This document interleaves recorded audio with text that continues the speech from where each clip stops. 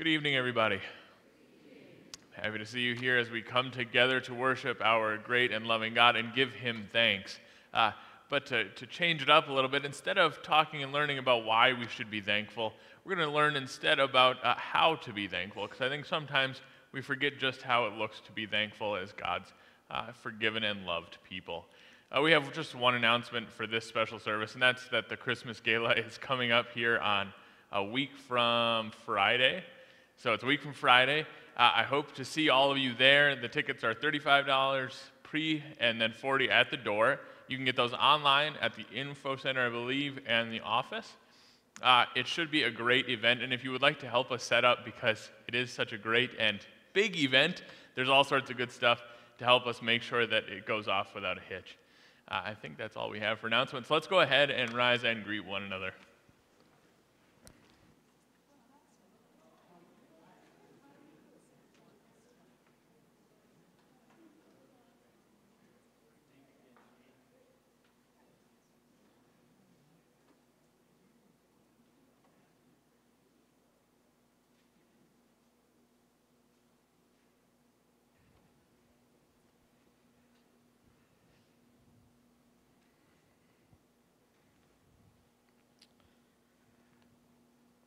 Let's read our Bible verse of the evening together. Jesus asked, We're not all ten cleansed? Where are the other nine? No one returned to give praise to God except this foreigner. In the name of God, our Heavenly Father, Creator and Provider, in the name of God, His Son, Jesus Christ, in the name of God the Spirit. Make a joyful noise to the Lord, all the earth. Serve the Lord with gladness. Come into his presence with singing. Know that the Lord, he is God. It is he who made us, and we are his. We are his people and the sheep of his pasture. Enter his gates with thanksgiving and his courts with praise. Give thanks to him, bless his name. For the Lord is good, his steadfast love endures forever, and his faithfulness to all generations. Glory be to the Father, and to the Son, and to the Holy Spirit, as it was in the beginning, is now, and will be forever. Amen. You may be seated for the opening hymn.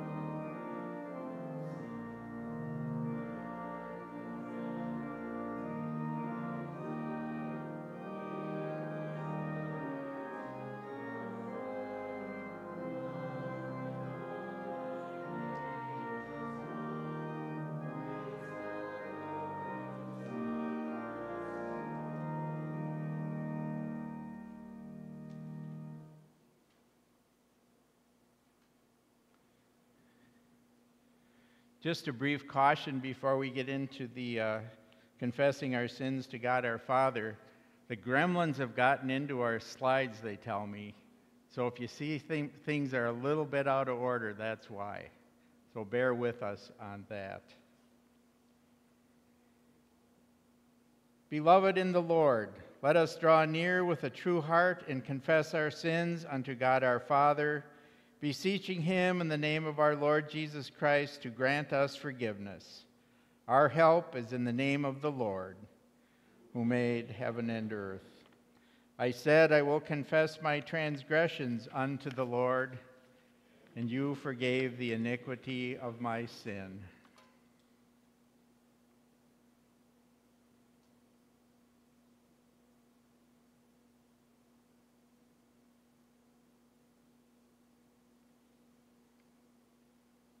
Lord God, we come to you today confessing that we are often unthankful for all the gracious gifts you have given us. So often we worry unnecessarily about our future and fail to be content with everything you have given us. Forgive our failure to be content and give us thankful hearts. For the sake of Jesus Christ, your Son, forgive us and fill us with the joy of your presence and the promise of our eternal salvation. Through the mercy and sacrifice of our Lord Jesus, we have all gained access to his grace by which we now stand. Therefore, by the power of the cross, as a servant of Christ, be assured that your sins are forgiven. In the name of the triune God, the Father, the Son, and the Holy Spirit. Amen. Give thanks to the Lord, for he is good, and his mercy endures forever. The Lord be with you. Let us pray. Almighty God, your mercies are new every morning, and you graciously provide for all our needs of body and soul. Grant us your Holy Spirit, that we may be content with what you have given us give thanks for your benefits, and serve you in willing obedience all our days. Through Jesus Christ our Lord, who lives and reigns with you in the Holy Spirit, one God, now and forever. Amen.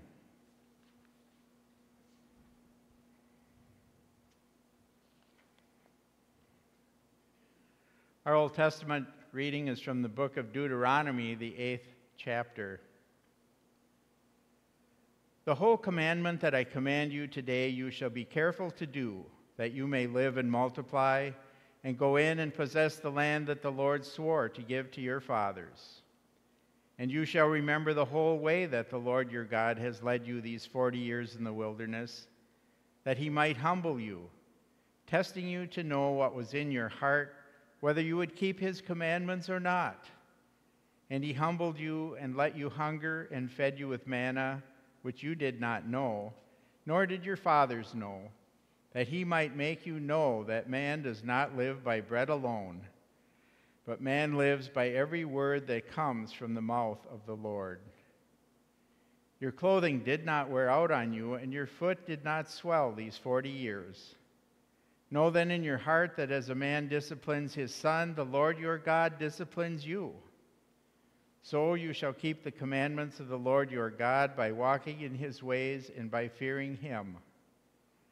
For the Lord your God is bringing you into a good land, a land of brooks of water, of fountains and springs, flowing out in the valleys and hills, a land of wheat and barley, of vines and fig trees and pomegranates, a land of olive trees and honey, a land in which you will eat bread without scarcity in which you will lack nothing, a land whose stones are iron, and out of whose hills you can dig copper.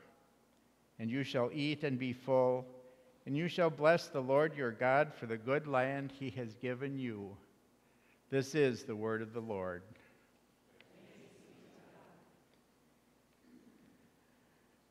Our epistle reading this evening is from Paul's letter to the Philippians, chapter 4. Do not be anxious about anything, but in everything by prayer and supplication with thanksgiving, let your requests be known to God. And the peace of God, which surpasses all understanding, will guard your hearts and minds in Christ Jesus.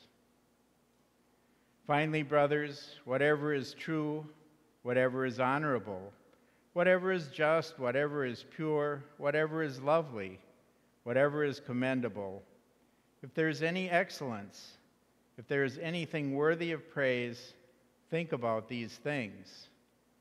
What you have learned and received and heard and seen in me, practice these things, and the God of peace will be with you. I rejoiced in the Lord greatly that now at length you have revived your concern for me. You were indeed concerned for me, but you had no opportunity. Not that I am speaking of being in need, for I have learned in whatever situation I am to be content. I know how to be brought low, and I know how to abound. In any and every circumstance, I have learned the secret of facing plenty and hunger, abundance and need. I can do all things through him who strengthens me. Yet it was kind of you to share my trouble and you Philippians yourselves know that in the beginning of the gospel, when I left Macedonia, no church entered into partnership with me in giving and receiving except you only. Even in Thessalonica, you sent me help for my needs once and again. Not that I seek the gift, but I seek the fruit that increases to your credit. I have received full payment and more. I am well supplied, having received from Epaphroditus the gifts you sent a fragrant offering, a sacrifice acceptable and pleasing to God. And my God will supply every need of yours according to his riches in glory in Christ Jesus. To our God and Father be glory forever and ever. Amen. This is the word of the Lord. Please stand with me for the reading of the gospel.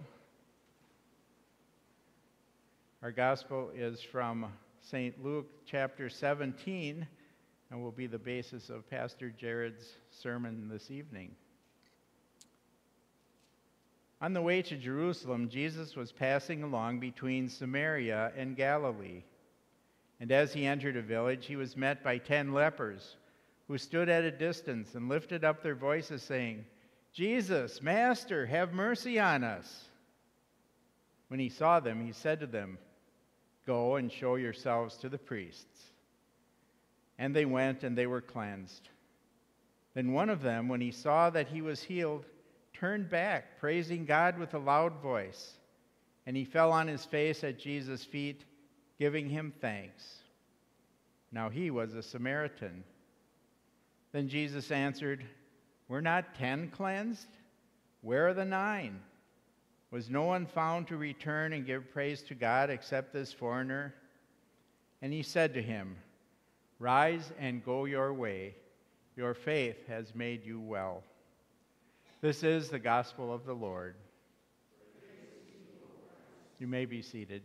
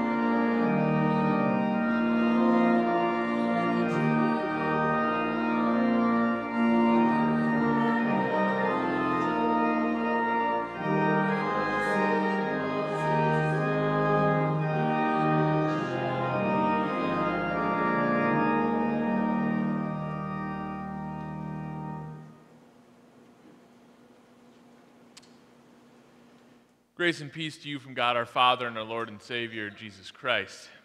Amen. I don't know if any of you have heard it yet, but I have some incredible news, and I, I, hope that I'm the first one who, who gets to tell you. I mean, clearly you haven't heard yet because otherwise you'd all be as excited as I am. Have you heard? The sun rose today. I woke up this morning and it was dark outside, and I was so afraid because I didn't know if it was coming, and I sat there and I held my breath, and then finally, it came, and the sun rose and it shined down, and the day was started. Isn't that great? Wow, I guess I must be the only one who is that excited about the sun rising. No, no. Even I don't think it's that incredible. In fact, it's kind of the mundane. We know the sun is going to rise, or at least we assume it will rise day after day after day. Tomorrow's Thanksgiving.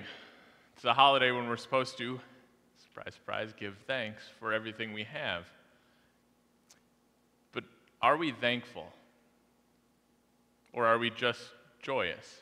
As Christians, when we have these blessings, are we thankful to God or are we just elated, excited?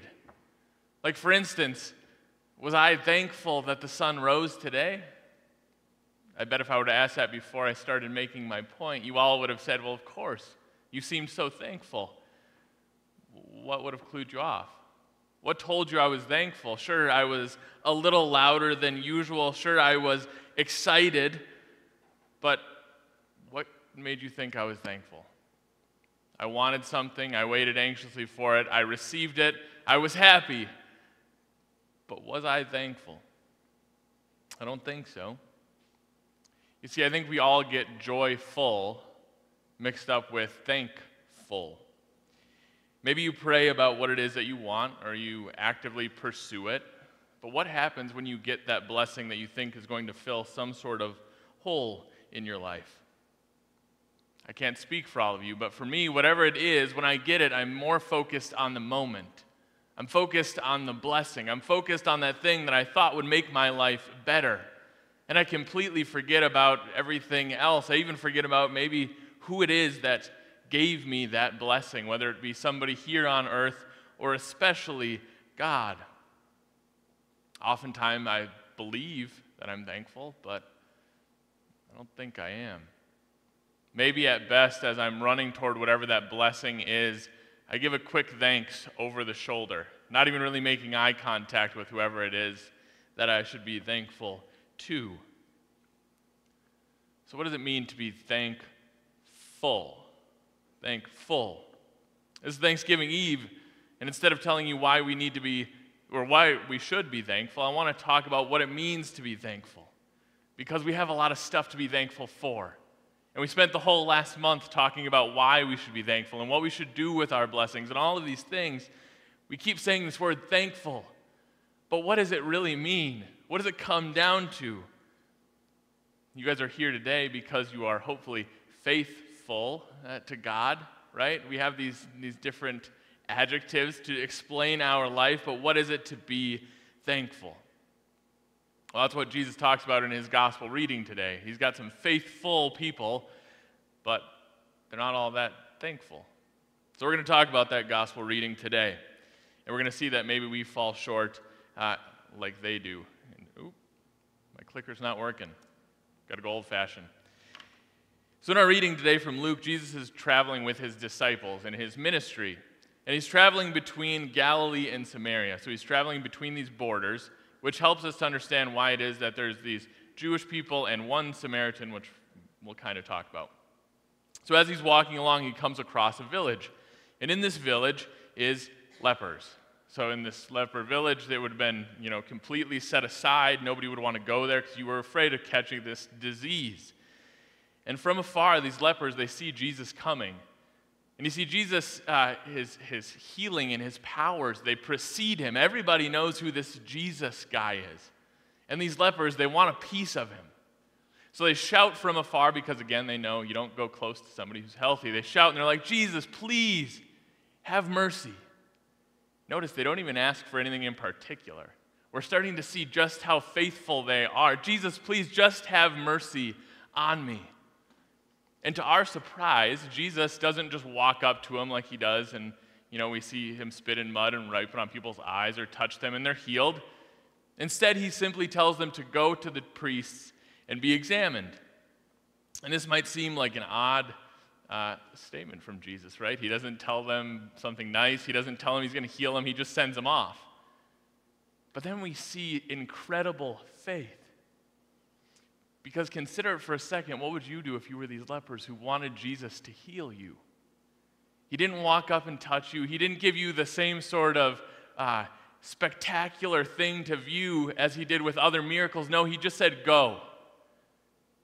Do you think you'd go? What about our lives today? We say we trust God, but do we often go when He says go, or do we say, just give me a little bit of a clue, give me a little bit of a blessing, and then I'll go? But nonetheless, these lepers, they go. They go and they go, they head off to the temple to be uh, examined, to be shown that they are clean. And here's where the miracle happens. These individuals who were riddled with sin, their lives were, were basically over. I mean, imagine it a disease where things are just kind of your skin and your body parts are not working anymore, and before long it takes your life. Nobody wants to come talk to you. You are at the bottom of the bottom. Your life is just kind of done. And then you start walking with these other 10 lepers, hoping that Jesus would have healed you. And as they're walking, their power starts to come back. And life starts to get poured into dead flesh. And before long, you can imagine that they must have been so excited they must have been laughing, and I'm sure the crying was just, their tears were pouring out. Can you imagine being alongside them and seeing this amazing thing, this rejuvenation of life? They have everything before them now. They must have just been running. And then what happens? What happens in our story, in our gospel? All 10 come running back to Jesus and they fall to his feet and they just give thanks, right? They're thankful, right? Right? Nine of them just keep on running. They head off to the priest because they want to start their new life. They want to forget all this torment that it had. And only one comes back. Do you imagine being Jesus in that moment? Sending off these 10 people, loving them so much that you were going to act on their behalf to give them new life and having only one come back. Man, that had to be hard. He was left sitting there in the streets as they ran away, I'm sure hoping they'd come, and only one thankful individual comes back. So one leper comes back cleansed to Jesus. And Jesus responds to him and says, Were there not ten cleansed? Where are the nine? The leper doesn't respond to Jesus here but I do want to fill in the blanks for us. Because I think the nine were exactly where we would be, or where we are, when we get our blessings. I think the same question could be asked of us. Where are you when you get your, your blessings? Where are you when it feels like life is going great? Where are you, especially when it seems like you're in the darkness and all of a sudden God shined all of His love down on you and He set you off on the right path? Do you fall down at the cross or do you just keep on running, excited, tears streaming down your face, ready to receive it all? I think I tend to be more there as well. Tomorrow's Thanksgiving, the time when we'll go and sit with family and friends and we'll, we'll recount the blessings of the year, hopefully. we'll talk about all the great stuff we got to experience. But as you think about those, I want to challenge you to think did you give thanks to God in the moment?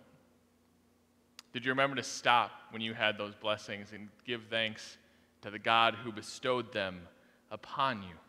Did you give fervent thanks like this one leper who, or leper who ran back to Jesus and fell on his knees and gave thanks for everything that he had? Are you starting to see why maybe we aren't so thankful? Sure, we're joyous. There's a lot of things to be joyous about as Christians. We've been saved, we've been set free from sin. God loves us so much, and He gives us blessings each and every day. There's, there's infinite reasons to be joyous, joyous or joyful. But are we thankful? Thankfulness is far more than just stopping and looking at the blessing.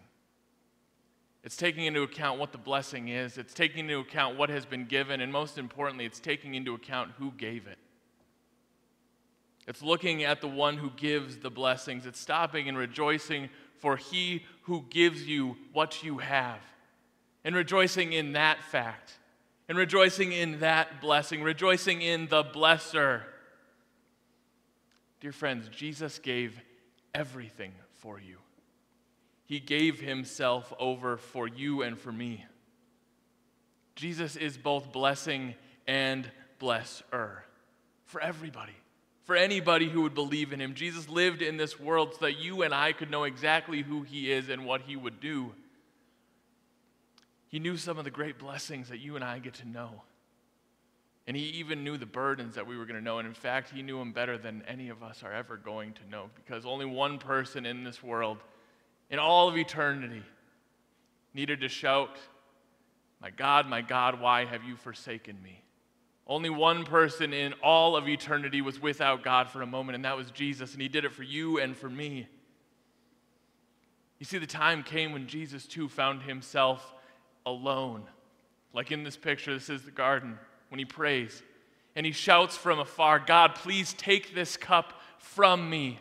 He wants mercy just like those lepers, but instead of giving the blessing that he wants, Jesus knows what he has to do. He knows that he has to go back to the one place, the last place he is going to go on this earth. He faithfully came there. He boldly gave himself to the ones who sought to kill him. He bravely stayed silent, even though he could have saved himself time and time again. He lovingly surrendered himself to the point of death for you and for me on the cross. And he powerfully returned to proclaim his victory over sin and the death and the devil, all for you and for me. He gave everything, everything for us that we might have his victory. And all we got to have is faith. And that's not even a faith we need to come to ourselves. He gave the Holy Spirit to us through the waters of baptism. He gave everything so that we could follow alongside him in this life, receiving our blessings. And the good news is that because he did all of that, when we do receive our blessings and we get so focused on them and we lose ourselves and we run full tilt toward the blessings and forget about God, when that guilt starts to set in and you feel like, oh, I'm just I'm so sinful, I should have went back, he is still there waiting for you to run full tilt back into his arms and love you unconditionally we have all the reason to be thankful, all the more reason to stop. Stop looking at just the blessings and look at the one who gives us those blessings.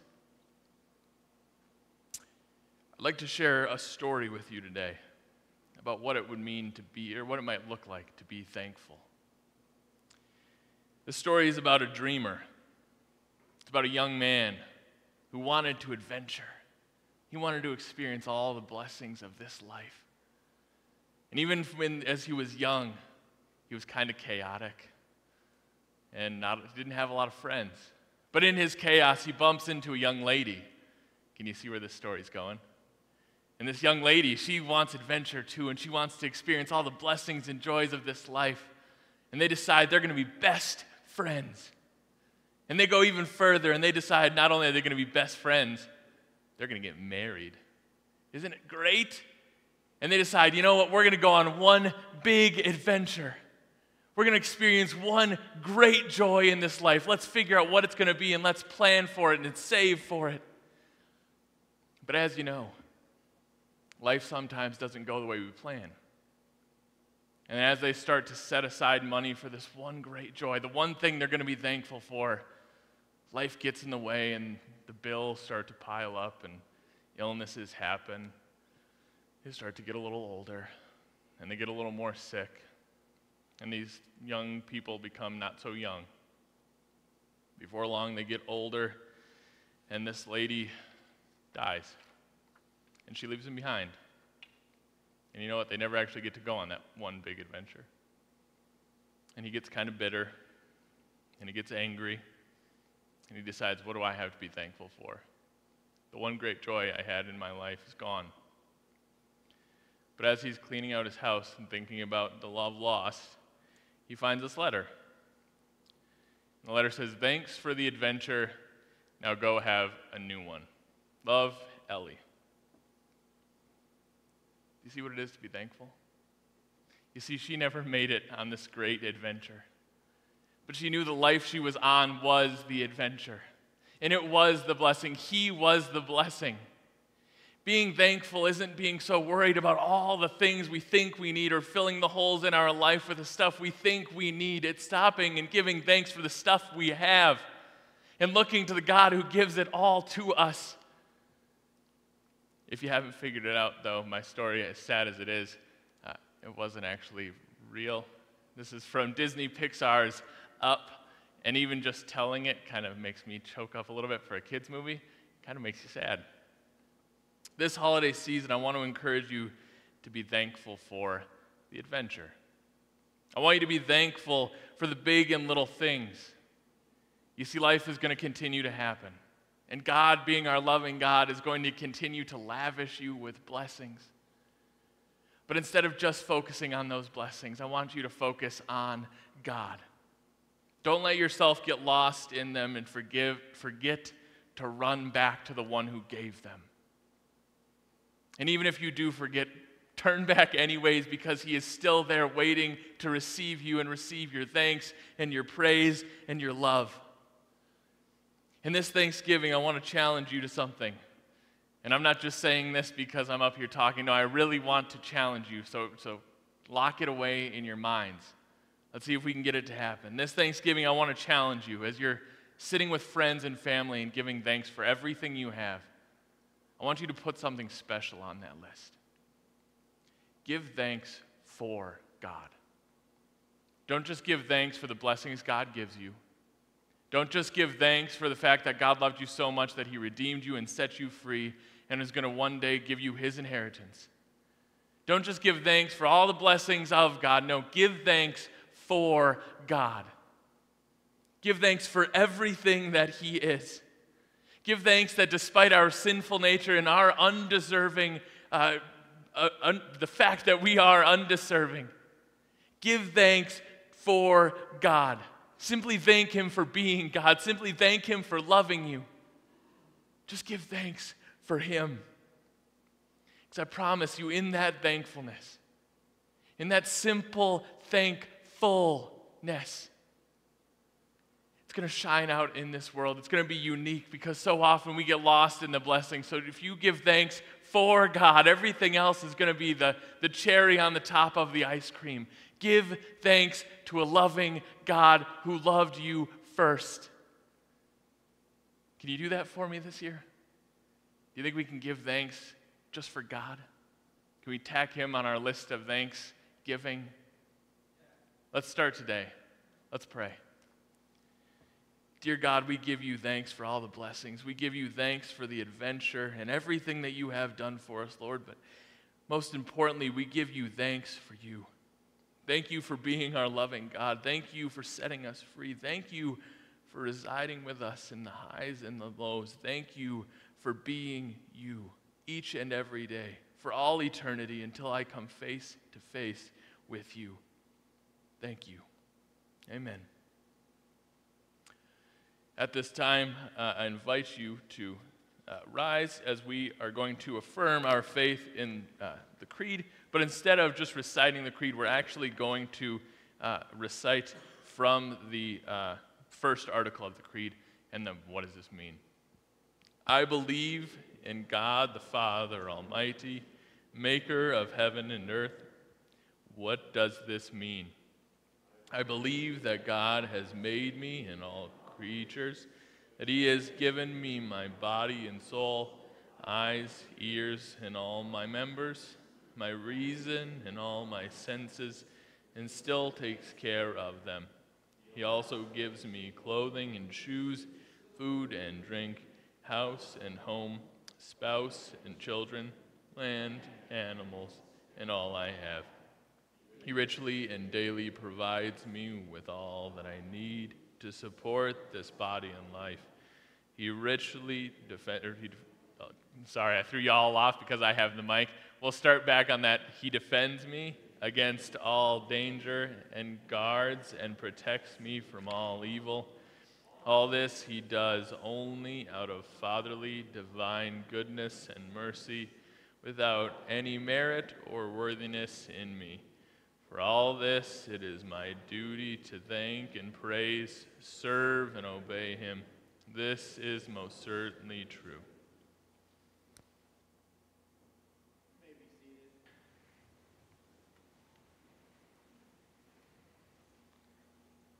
At this time, we receive the offerings.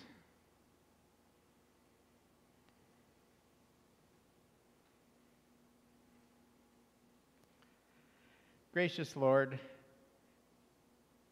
in thanks and praise and praise and thankfulness to you, we bring to your altar a portion of what you have first given us in love. Father, we pray that you would bless these offerings to Peace Lutheran Ministries as they share your gospel message with the world. These things we ask in Jesus' name. Amen.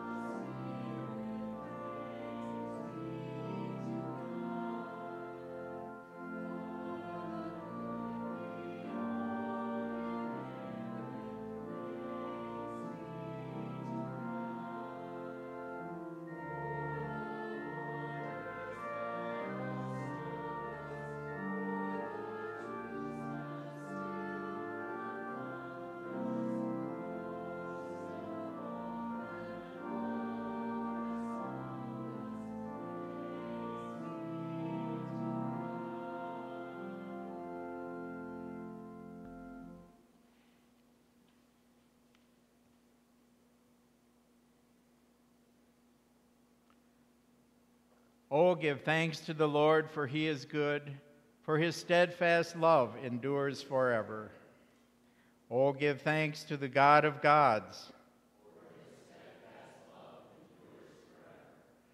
Oh, give thanks to the Lord of lords, for his steadfast love endures forever. Oh, give thanks to the God of heaven, for his steadfast love endures forever. Oh, give thanks to the Lord, call upon his name, make known his deeds among the people.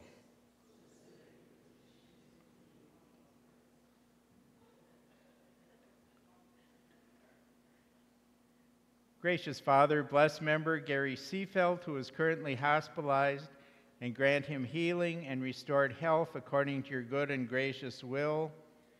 We pray for Ray, a friend of the Blemkes, that you would be with her and her concerns. And Father, we give you thanks for the saints who have gone before us, in whose lives your great faithfulness is shown. We name today members Paul Sekeny, Eugene Hodek, Alex Hintz, and Lois Marie Midas, all of whom have recently entered heaven. Grant peace and comfort that only you can give to their families and friends as they mourn the loss of their loved ones. Oh, give thanks to the Lord, call upon his name, make known his deeds among the peoples. Sing to him, sing praises to him, tell of all his wondrous works. Glory in his holy name. Let the hearts of those who seek the Lord rejoice. Amen. Please stand with me as we pray the prayer our Lord taught us. Our Father, who art in heaven, hallowed be thy name. Thy kingdom come, thy will be done, on earth as it is in heaven. Give us this day our daily bread, and forgive us our trespasses, as we forgive those who trespass against us. And lead us not into temptation, but deliver us from evil. For thine is the kingdom, and the power, and the glory, forever and ever. Amen.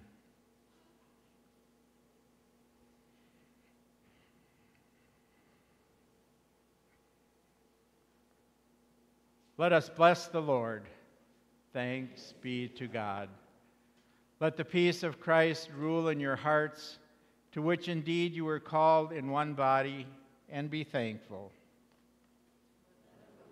O Christ, dwell richly in you, teaching and admonishing one another in all wisdom, singing psalms and hymns and spiritual songs with thanksgiving in your hearts to God.